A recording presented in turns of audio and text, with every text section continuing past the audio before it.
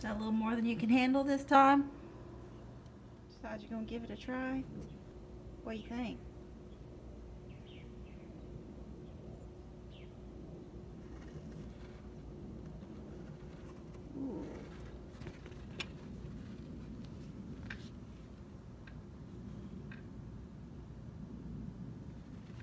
Nope?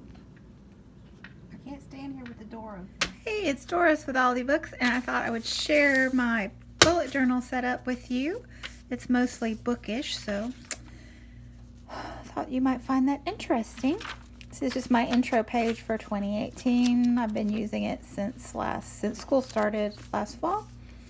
Um, so here is my January calendar, and I've been making this setup for over a year now. But I've started color coding the weeks, so or the days. So these coral days were days that I had off of school. And then I put several readathons that I was interested in doing on here. So the blue week was um, Bout of Books, and this purple one was a one day, 24 hour readathon. And then um, this green one is um, Biannual Bibliothon, which I think I'm not going to do. Um, I'm not in the mood and the challenges didn't really inspire me. But I am doing 24 in 48 that last weekend of January. I'm pretty excited about that. So then I just colored the random leftover days pink. And like here's my um, information about the different weeks and, you know, forward planning for next month, the notes and things. So yeah, this really works really well for me. Then for my booktube channel, over here I keep um, video ideas, things I want to do or might want to do. And I just made little squares because um, I like writing in contained spaces and I like color on the page. And then over here, when I actually upload a video, I write it in over here so I can kind of um, pace myself. And the blues are the weekends, just kind of to divide the month out. This is how I keep track of my um, healthy stuff. And I, I can't even explain to you why this works for me. I've tried those just little check off habit tracker boxes and I can't keep up with them. But if I draw little pictures, I, I can keep up with it. It's it's very random and strange. But um, this month, these little creatures are my water. So I drank enough water those days. And um, yeah, I don't like to eat my vegetables. So I draw in. I try to make sure I eat at least one vegetable every day. Um, the little hand weights here and then the arrows are for the treadmill or walking outside if the weather's nice which um, it's not because it's winter. Yucky. Um, this is another month. This month I um, used the little cactus for the water and then this month I used um, little fish for the water and the panda the bears were the days that I was like totally irresponsible and just didn't do anything healthy. Um, I think there were porcupines on this other page and this page it's the sumo wrestlers. So yeah, this totally works for me. I don't know why, but anyway. And then my meal planning, I I make notes down here of things I want to cook that month and the first column I check it off when I know that I've bought the supplies from the grocery and I have them at home. And then the second column I check off when we've cooked that. And then I write it in up here when we've cooked it as well so that I know because I'm real nervous about I have a five day rule and I get nervous if something stays in the fridge past five days and I, I hate to waste food. So yeah this works pretty good and yeah, it's just Gabriel and I, so I can't cook every night because we can't keep up with the leftovers. Um, this is how I keep up with work to-do lists. So um, Monday through Thursday, Friday. And then this pink area here, this is um, time sensitive. So these are things that I have to do um, that day, go in the top area here. and then things that I want to get done go in the bottom sections. And then forward planning, things that go on the next week, and then place for notes. And then this is um, how I do my personal planning. And I haven't been doing a lot of that recently, to be quite honest. Here's um, a page from October where I had, you know, this is my week at a glance stuff and then daily lists and then just some random things. Um, here's another one, weeks at a glance and daily lists. So yeah. So then, um, starting from the back, this is where I keep my more bookish things. So I've made my bookish list in the back here and I just started on the back page. This is Scribble Scrabble this is how I'm keeping up with um, the books I read. So this was last year, and I'll go over that when I get to this year's list. Um, but this totally works for me as well. I know an Excel spreadsheet would be much easier, but not for me.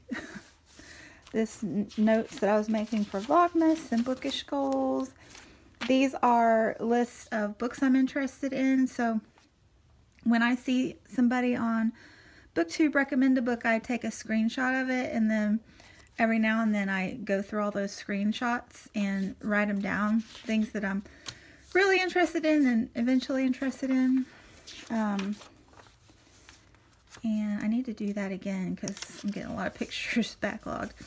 This is my plan for the year and i already talked about this in my goals video so i'll try to link that below in case you're interested in seeing it again, but you can see I've already, the red checks are books that I've bought already this year. but yeah, this is going really well for me. I'm enjoying it thoroughly. Um, this is a list of nonfiction authors I'm interested in and books they've written. Um, this is my goal for John Steinbeck. I mentioned that in my goals video as well. I need to fill that in. These are my goals for this year favorites from last year. These are books that I think might pop up on book outlets, so I want to keep my eye open for them. These are video ideas that I'm working on this year.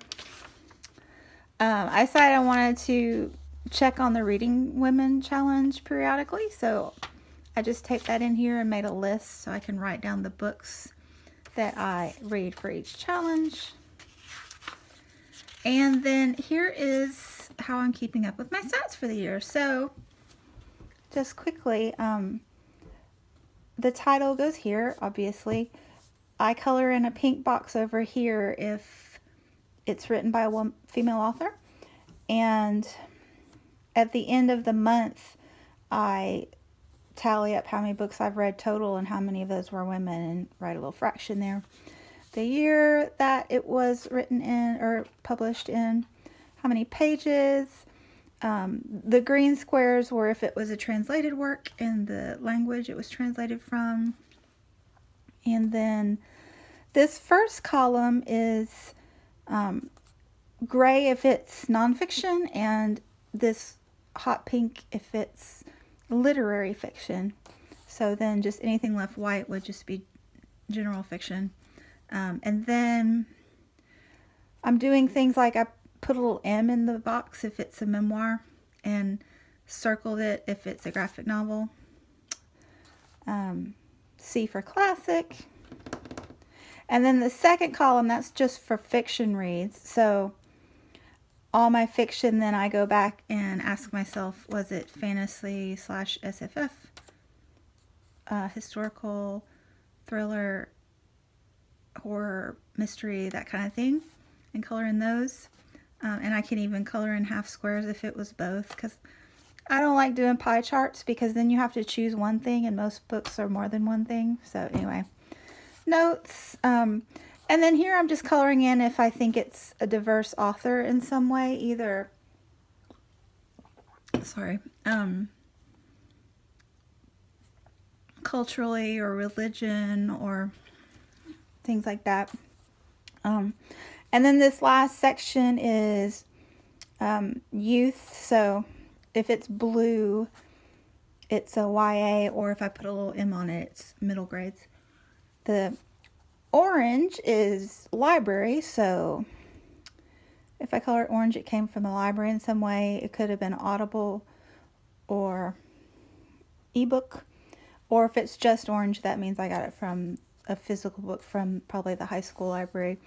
And then over here, I just, um, like I said in another video, I just make the assumption that all the books I'm reading are four star. and then if I color in the square, that means it was a five star. And if I color it in purple, it was um, a three star. so, yeah. So that's what I am doing to keep up with my life. Hope you enjoyed that. And now I'm going to tack on a few random snow photos because we've been out of school all week and life is grand. Thanks for watching. Bye. So pretty. Still falling. We're not going to school tomorrow either. oh, look at it falling. So pretty. What you think, guy? Is it pretty? Is it so pretty? All right. We got a full-size snowman today. That's what two inches will do.